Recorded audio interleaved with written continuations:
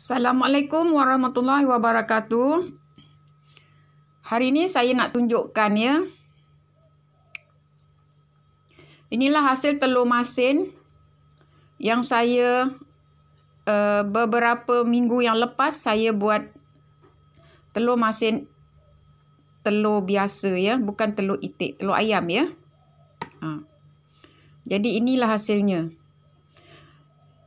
Jadi kalau nak tahu macam mana resepinya, bukalah uh, YouTube Siti Hawani ya.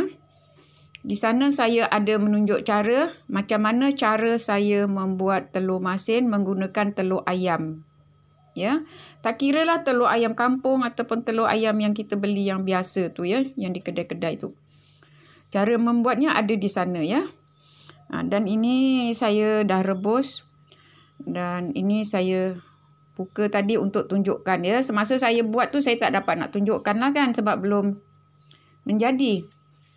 Dan selamat mencuba pada ibu-ibu di luar sana. Sekian saja perkongsian saya di pagi ini untuk menyambung uh, perkongsian telur masin saya ya yang kemarin.